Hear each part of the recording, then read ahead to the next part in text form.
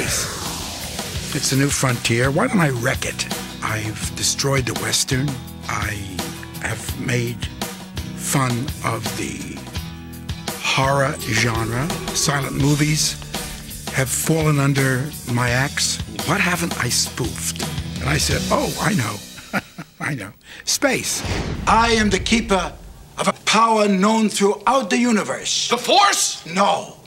The Schwartz. I think Spaceballs being a spoof of science fiction movies, it makes it particularly poised to be memorable. When Mel Brooks does a satire on a on a famous story, which he did with Spaceballs, it's very close to the original story, but it just takes a sort of a left turn so that it just becomes a little silly.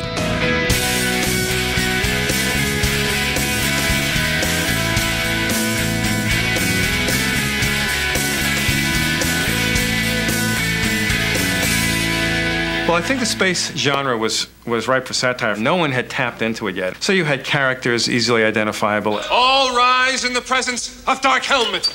I sent the script to Lucas. I said, if there's anything that offends you, he called and he said, please, you know, I, uh, I saw Blazing Saddles, I've seen Young Frankenstein. I, I trust your judgment. I can't breathe in this thing. As a matter of fact, ILM, which is a George Lucas company, did all our post production film work. Yogurt! Hello, boys. I think it's a spoof on Star Wars. I think. Are we through?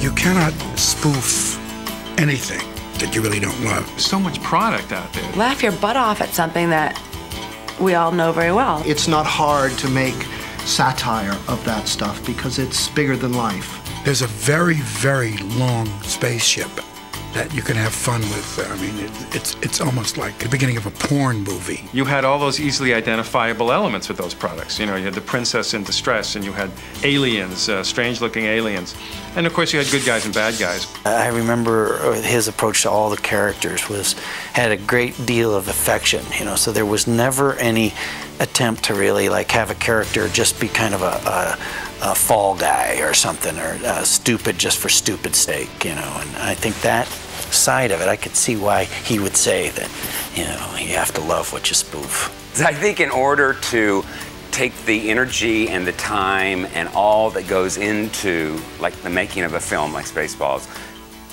you must love it. You have to love it. I've come to love Star Wars, Star Trek, except for Star Crap. I won't see Star Crap. Ludicrous speed! Go! Peter Donen was so great in supervising all our special effects. There was no question in Mel's mind that he wanted to do everything as well as or better than Star Trek the TV series, Star Wars. So everything was very real, very exciting, very space-ish. And I made it Jewish. I just tweaked it a little. A funny effect is really the real effect with some extension. Everything does have to be as good, if not better, because you better show us that you're expert and you know what you're doing, because we're fans of the first one. We actually set out to do really, really first class work. Perfect. You were wonderful. Thank you. Let's do it again. Just do it a little better.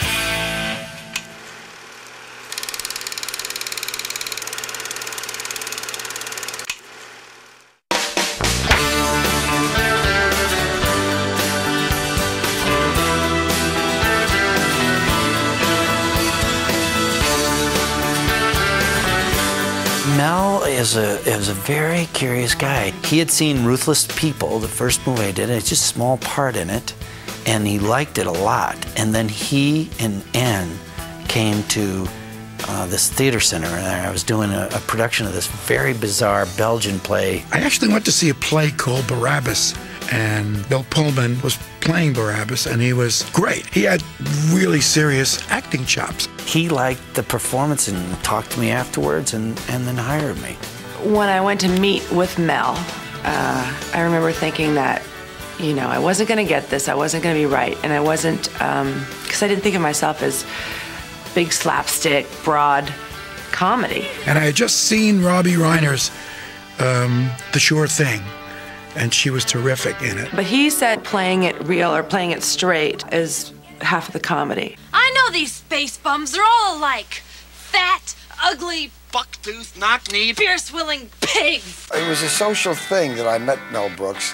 He said to me, You know, you're not fat, but you have a fat man's face. We'll just pad you and everything because your face has got the right look for it.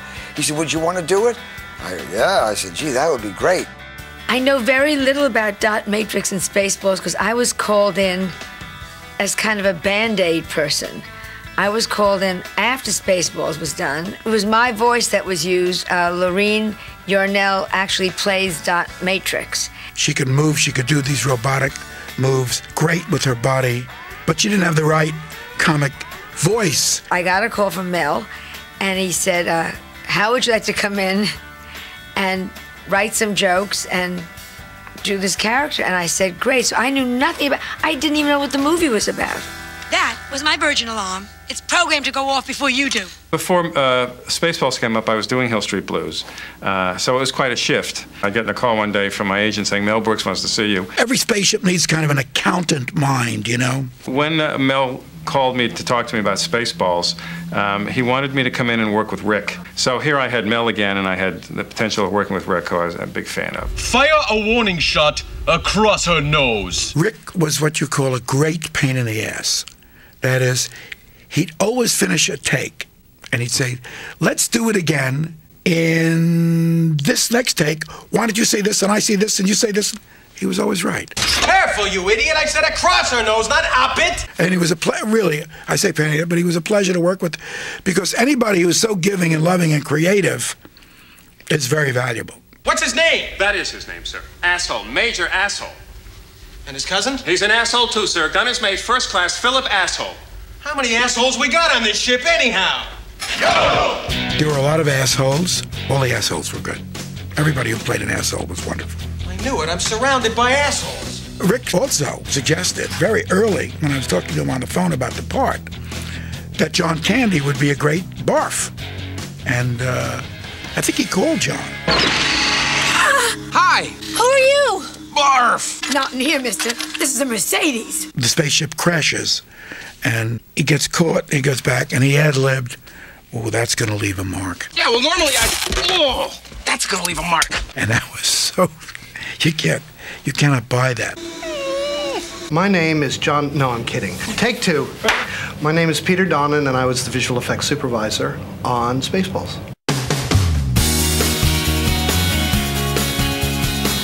I had done a little bit of work on Star Trek, the TV series, the original TV series.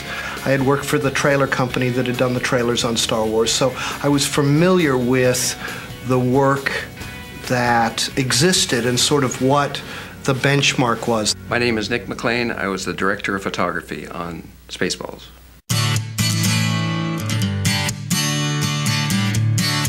We discuss angles, but nothing about film or looks. Its main focus was was it funny?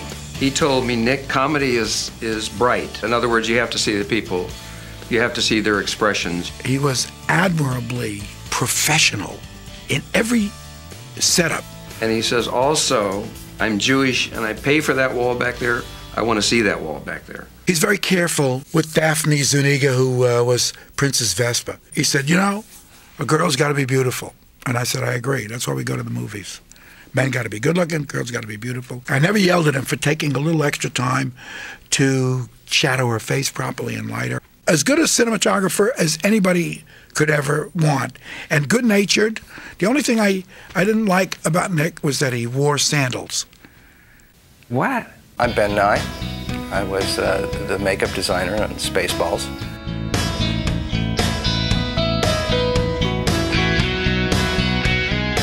I was introduced to Spaceballs through John Candy and working with John Candy. I think he kind of uh, went to whoever through his agents and however that works, had me assigned to the movie. It seemed like a great opportunity to do some interesting makeup, so I was happy to be department head. Do I get this at the end of the movie? Do I get to keep this? Yes, sir.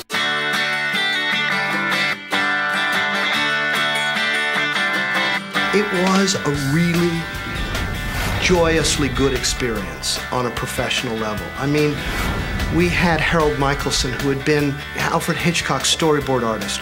We had Nikki McLean as our director of photography, who had probably been, if not the greatest, one of the greatest camera operators was ever in Hollywood, Don Feld, a fabulous costume designer, Conrad Buff, who went on to cut True Lies, Terry Marsh, certainly a great production designer who had worked with David Lean on Dr. Zhivago. We just had the cream of the crop all the way through, and everybody was, you know, sort of joyously contributing to this experience that Mel had set us down the road on.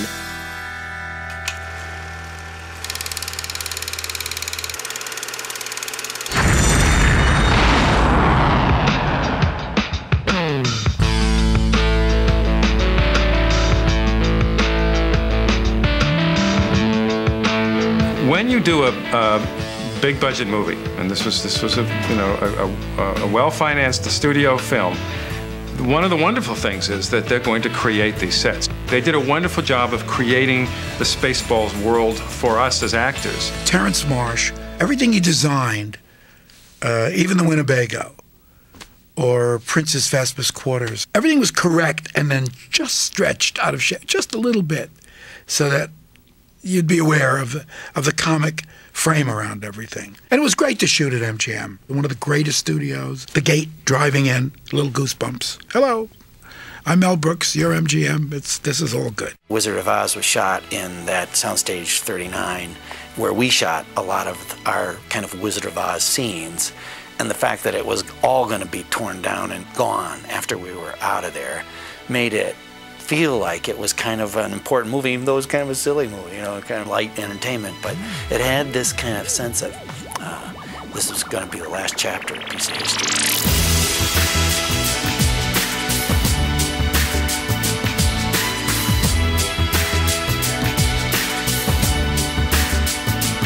How did I do it? What did we do? Well, first of all, we did 267 shots. And I had long discussions with Mel, with Terry Marsh, with Ezra Swerdlow, who's one of the producers, about funny effects. And obviously, you know, a flying Winnebago is like a funny idea. The world's longest star cruiser is a funny idea.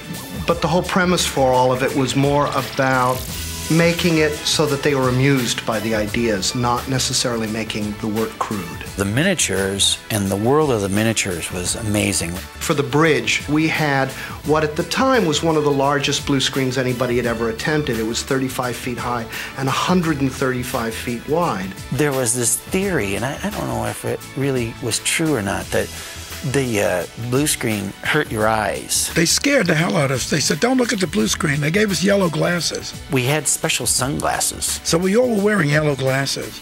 Turned out that that's a myth. I mean, it didn't didn't mean anything. When you act with a blue screen, it's literally that, a blue screen. And so a lot of your acting school training comes back. That's what a good actor is. He acts to nothing. The hardest thing was imagining all the stuff that was going on. Eventually, there's going to be a spaceship there. You just throw all pride out the window and you just react. And then you pray that they're going to stick in the right image at the right moment because if they mess it up, you could look really stupid.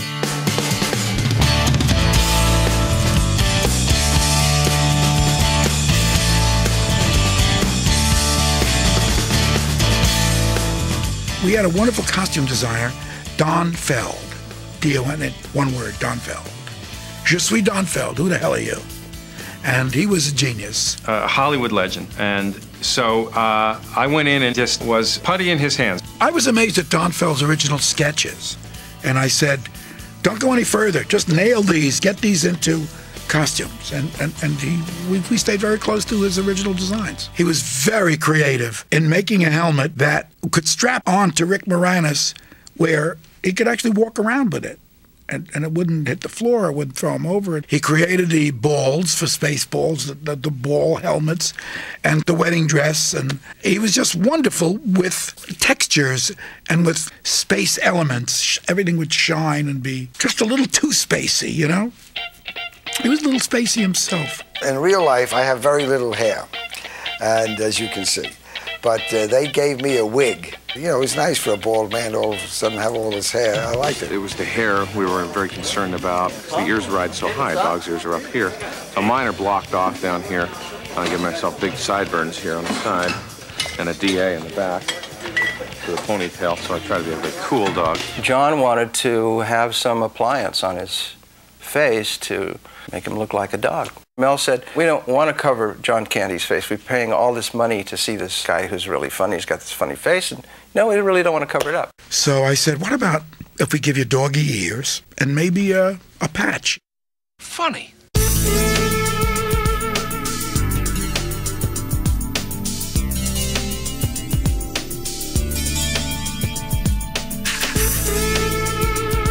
We started out with the desert, and uh, that was the first shooting I did. Anyway, was out in Yuma, Arizona. If you do more than one take in sand, you've ruined the pristine quality of the sand. So, I mean, it would, it would drive us nuts. We had to get a blower, or we had to get a sand broom. Worse than that was lunch. There was nowhere in, in near Yuma to eat lunch. It was hot and dusty. I felt really badly for Lorraine Yarnell. My God, Lorraine Yarnell had a trudge in the C3PO mock-up. She had a real tough time, probably more difficult than most, because she couldn't actually see where she was going. And it must have been easily 120 degrees in that thing. We'd have to keep opening the mask so that she could breathe and she'd just be dripping with sweat. I mean, it was so hot out there. This poor woman, I think, lost a lot of weight and water weight. I mean, and she was tiny to start with. She was a trooper. She was a real trooper. I'll tell you the costume that I really enjoyed more than mine and was jealous of was, was Rick's costume because, of course, Rick was had the big helmet. Everybody got that? Rick would try and break me up just before we would do a take, but he'd drop the visor. Never have that damn thing down in front of me. So he could laugh his little took us off, and no one knew. And I'm ruining the take because I'm laughing, and all I see are his little knees shaking a little bit. That's all because his helmet was down. I wanted that helmet. I wanted that. The people in the picture all had terrific sense of humor, and there was a lot of kidding around going on.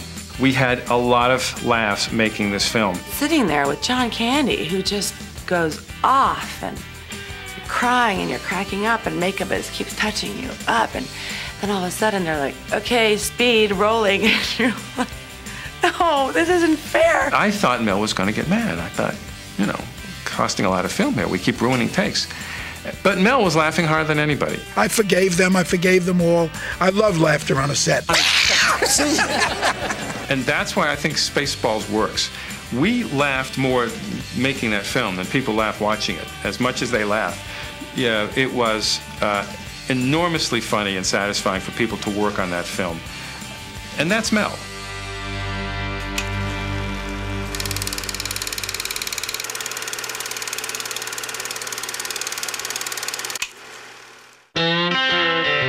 Adjectives to describe Mel Brooks. Good kisser. My best friend. Wacky. Very funny. Good kisser. Concise. Hilarious. Wonderful enthusiasm. Creative. Lustrous. My lover. Slimy. Bizarre. Tall, dark, and handsome. He's a Very short man. Good natured. Brilliant. Somewhat mean. Direct. Knowledgeable. Burps too much. Great creativity. Erudite. Avuncular. Insane. Compassionate. But a good insane. Perfect. I'm always the best. Well, I was the shortest. He's very short.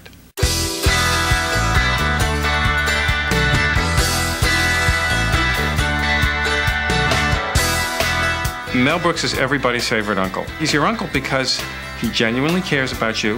He's involved in your life. You, you're part of a family when you work with Mel. I like people. I give them advice whether they need it or not.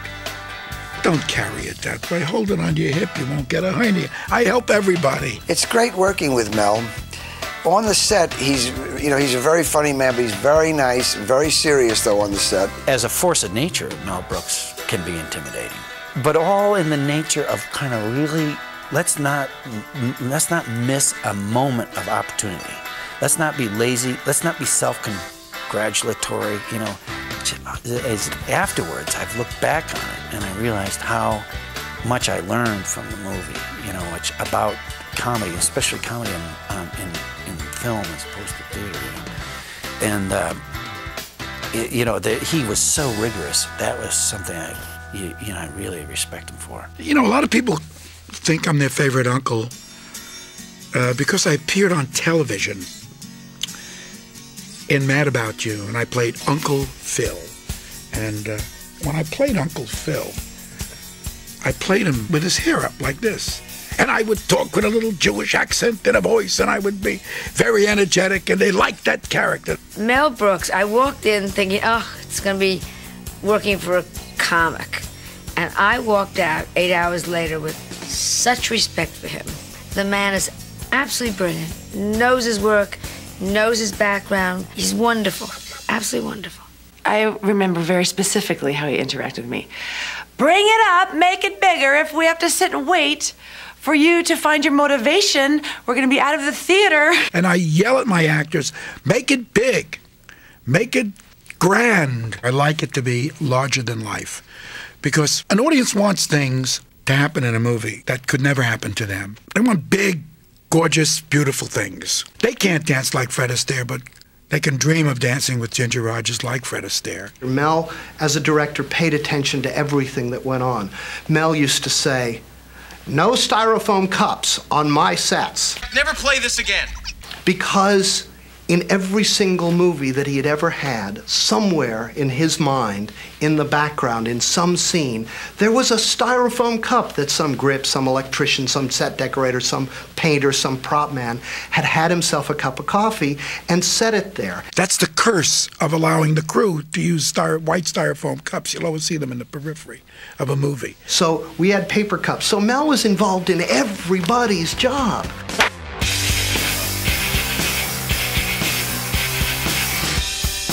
Mel's way of working um, involves a lot of improvisation. No matter what preparation you do, no matter what rehearsals you have, it all changes as soon as you're in front of a camera. He was really good about letting people experiment and, and explore. It's not always the most important thing whether that improvisation works or not for that specific scene. Um, what's important to the actor is that it, it's indicative of the kind of freedom you have. And the best part of that freedom is if it's not working, he's going to have some very specific ideas on how you do it. If the director realizes what the writer had in mind and the actors can nail it, that's a lot better than improvisation. Do it like this. You kind of go to the set kind of wondering what the heck's going to happen sometimes. Usually Mel got his way.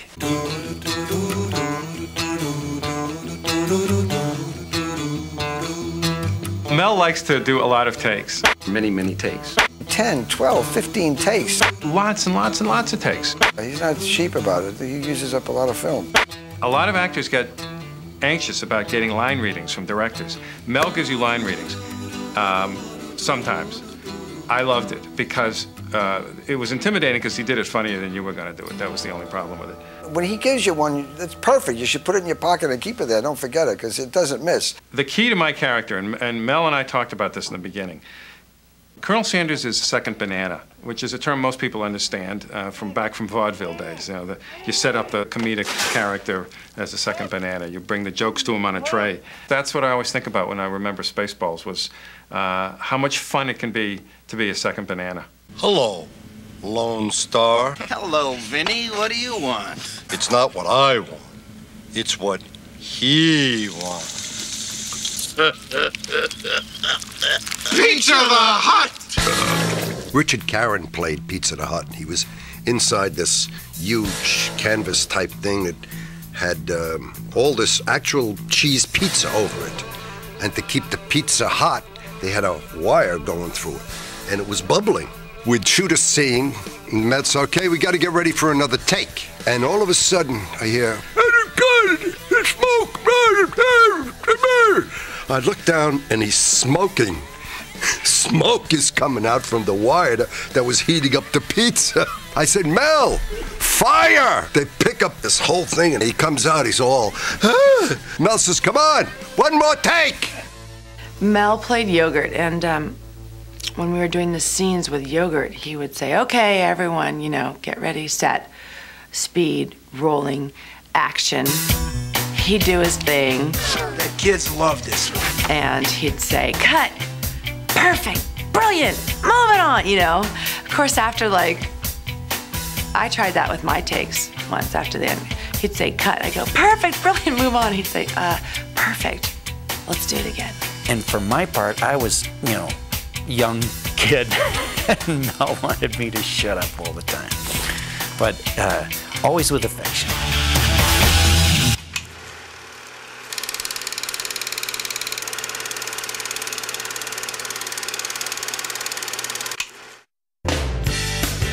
If you just aim for the place you're going, you'll fall short of it. You've got to aim beyond it to reach it. It's never as good as you want it to be. But then again, it's never as bad as you think it's going to be. But you got to give it everything you got. You don't go to work, you go to art. It's your vision, it's your love, it's your hope, it's your heart. You give your soul to the to the film and you hope that it lands on its feet and that people, you know, will enjoy it.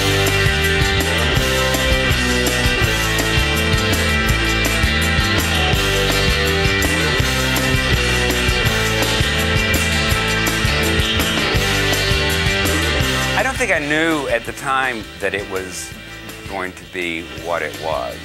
All of a sudden, the last six months, I have kids from about nine to about 15 coming up to me. They don't mention Eight Is Enough at all. They don't even know about it. It's all they talk. About. You King Roland from Spaceballs. In other words, that film has become a cult thing with young kids. They love it. College campuses, dorm rooms, they watch it eight, ten times, you know, on a weekend.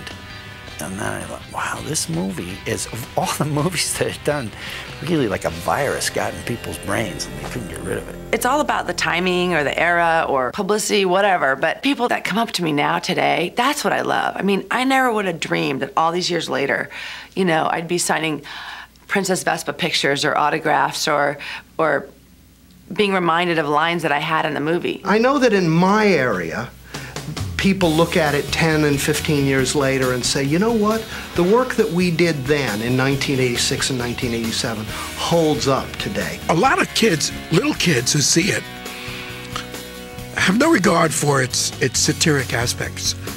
They don't care that it's making fun of anything. They like the story, and that's what good satire is. It's become a big cult film for children. Kids to this day grab me on the street and say, "Oh, Spaceballs, Spaceballs," and I always say, "No, no, no, just my voice." And then I, I, oh, hell with it. Yeah, Spaceballs. Hang on, Buffo. We're gonna make space tracks.